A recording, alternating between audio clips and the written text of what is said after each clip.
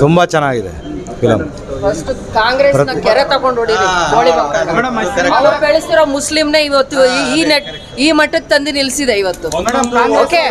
ಯಾವನ್ ಯಾವನ್ ಓಟ್ ಹಾಕ್ತಿದ್ದಾನೆ ಯಾವನ್ ಯಾವನ್ ಕಾಂಗ್ರೆಸ್ ಸಪೋರ್ಟ್ ಮಾಡ್ತಾ ಇದ್ದಾನೆ ಅವನಿಗೂ ಸೇರ್ ಹೊಡೀರಿ.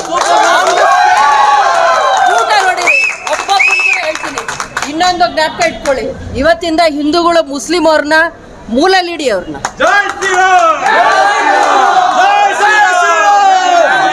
ಬದಲಾವಣೆ ಆಗ್ಲೇಬೇಕು ಭಾರತದ ಬದಲಾವಣೆ ಬದಲಾವಣೆ ಆಗ್ಲೇಬೇಕು. ಹೆಣ್ಮಗಳು ಈ ಸಿನಿಮಾ ನೋಡ್ಬೇಕು ಕಾಂಗ್ರೆಸ್ ಅವ್ರು ಇಬ್ರು ಈ ಸಿನಿಮಾನ ಬ್ಯಾನ್ ಮಾಡ್ಬೇಕಂತ ಸರ್ ಅವ್ರು ಮಾಡೋದೆಲ್ಲ ಅವ್ರು ಮಾಡೋದೆಲ್ಲ ಮನೆ ಹಾಳು ಕೆಲಸನೇ ಅಲ್ವಾ?